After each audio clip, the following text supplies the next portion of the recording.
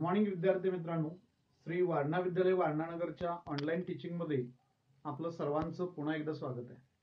आज आपण जो problem set three point three आहे तो आज आपण पाहणार आहोत. त्यातलं पहिलं जे उदाहरण आहे त्या उदाहरणामध्ये तुम्हाला एक आकृती दिलेली आहे आणि त्या आकृतीमध्ये एक्स आणि वाय हे जे दोन कोण आहेत ते दोन कोण तुम्हाला काढायला सांगितले ओके मग ते दोन कोण काढण्यासाठी आणखीन काय दिलंय बघा की ए बी ही साईड ए सी साईड इतकी आहे आणि त्याचबरोबर बी डी ही जी साईड आहे ती सी डी साईड इतकी आहे. हे आपल्याला त्या ठिकाणी दिलेलं आहे. ओके मग आपल्याला हे दोन अँगल कसे काढता येईल हो? जरासं आपण ही जे बी सी आहे याच्यापासून वरचा जो दिसतोय तो एक त्रिकोण आणि याच्यापासून खालचा जो त्रिकोण आहे ह्या दोन वेगवेगळे त्रिकोण आहेत असा विचार करून आपण थोडासा विचार करा बरं कसं काढता येईल? या त्रिकोणामध्ये त्रिकोण एबीसी मध्ये ह्या दोन बाजू कशा आहेत? एकरूप आहेत. आणि एकरूप बाजू समोरचे कोण पण कसे येणार आहेत मग? एकरूप येणार आहेत. म्हणून आपल्याला असं म्हणता येईल in triangle A B C A B G side आहे ती ए सी साईड इतकी आहे. ह्या दोन्ही साईड कॉन्ग्रंट आहेत. मग मला सांगा बाय आयसोस्किलस ट्रायंगल थेरम. तुम्हाला आठवतंय का बघा की आपण एक थेरम बघितला होता. त्या थेरममध्ये आपण सांगितलं होतं तो थेरम कोणता? समद्विभुज त्रिकोणाचं प्रमेय. तुम्हाला आठवतंय का? त्याला आपण इंग्रजीमध्ये आयसोस्किलस ट्रायंगल थेरम असं आपण म्हणलं होतं. आणि त्या थेरममध्ये आपण सांगितलं होतं की एखाद्या त्रिकोणामध्ये दोन बाजू एकरूप असतील तर त्या बाजू समोरचे कोण पण काय असतात? एकरूप असतात. ओके? मग आपण काय करूया आता?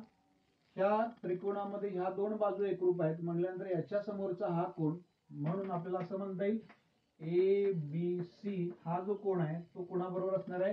ए सी बी इतका असणार आहे. ए सी बी इतका. पण एबीसी एबीसी हा काय एक्स आहे. आणि एसीबी किती आहे?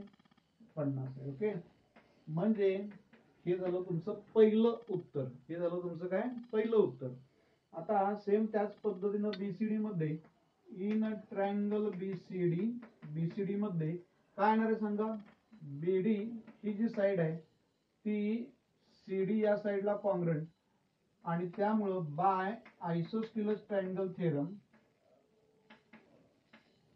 isosceles triangle theorem isosceles triangle थेरमनुसार काय येणार आहे सांगा मग?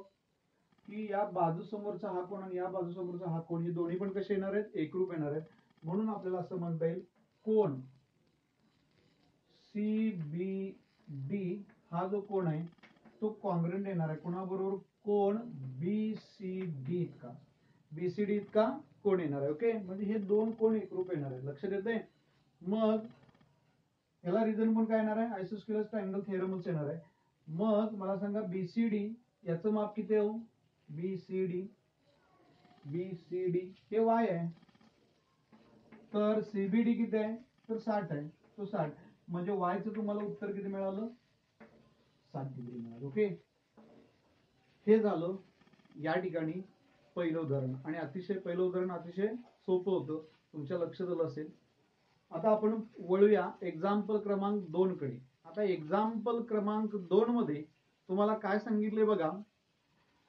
The length of the hypotenuse the length of the hypotenuse is fifteen okay of a right angle triangle म्हणजे काय?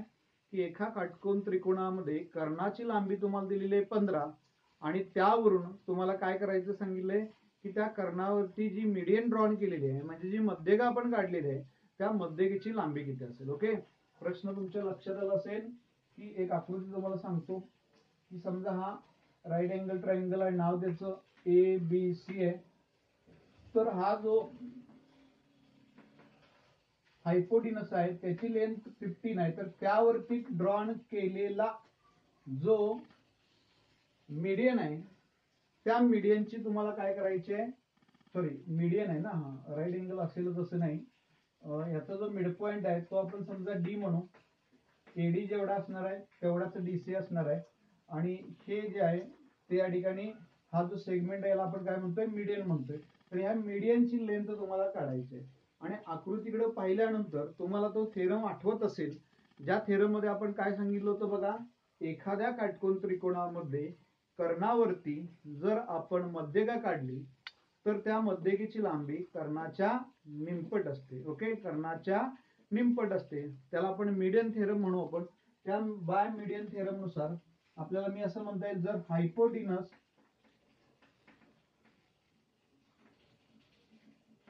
फिफ्टीन असेल तर therefore median drawn to the hypotenuse in a right angle triangle